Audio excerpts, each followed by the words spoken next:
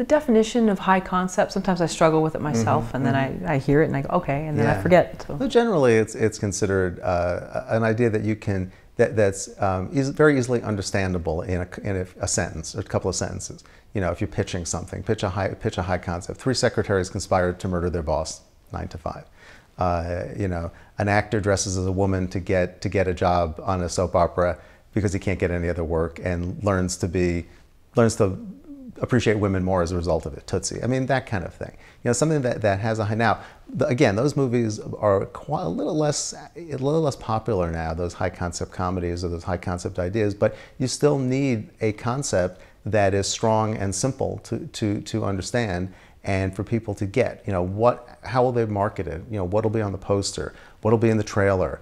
For just people to get it, you know, and it, it doesn't have to be anything that that wild or that imaginative, but it just has to be relatively simple to state. Um, otherwise, sometimes ideas get so complicated that they get very convoluted, and that shows up in the in the writing and sometimes the film itself. So it's about keeping it simple but interesting and and and uh, I don't know, for lack of a better word, clever and and unique.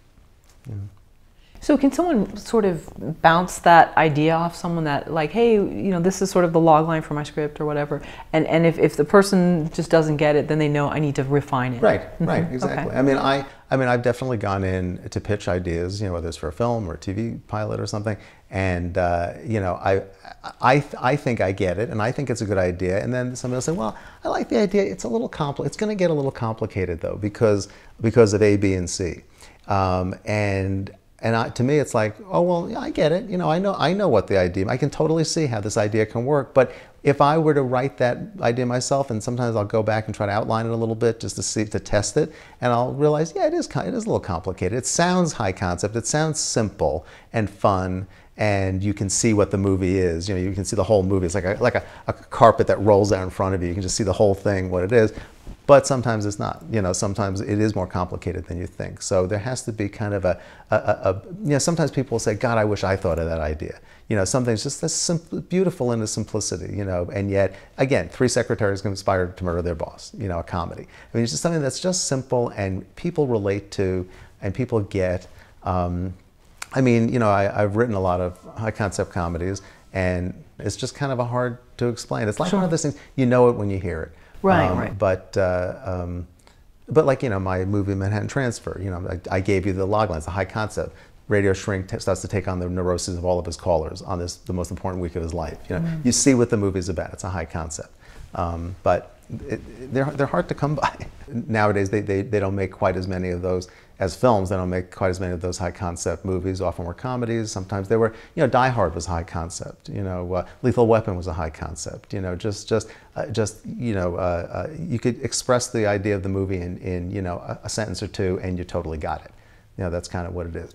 Um, you may see more of that on television now. You know, I don't know. You know, if I was, if I, anytime I would, I'm going in to pitch something, you know, I'm trying to go in, you go, try to go in and pitch something that's, that's relatively clear and simple to understand uh, in terms of what the world is going to be, what, where the entertainment value is going to come from, where the conflict can be. And a lot of that is just inherent in those couple of sentences. Um, and, uh, and sometimes it makes a good film or TV series, sometimes it doesn't. You know, it's not everything. But if you've got a good character attached to it, you know, chances are you have a good shot of, of at least having a good piece of material from it.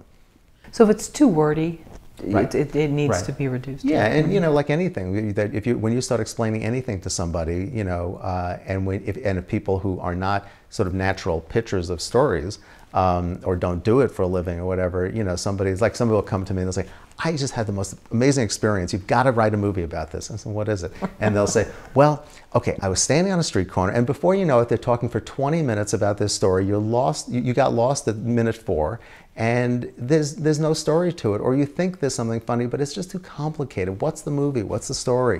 You know, wh- why am I going to laugh? What do I do with that? You know, there's a lot of that. So yeah, you have to keep it you have to keep it simple, you know, and unique.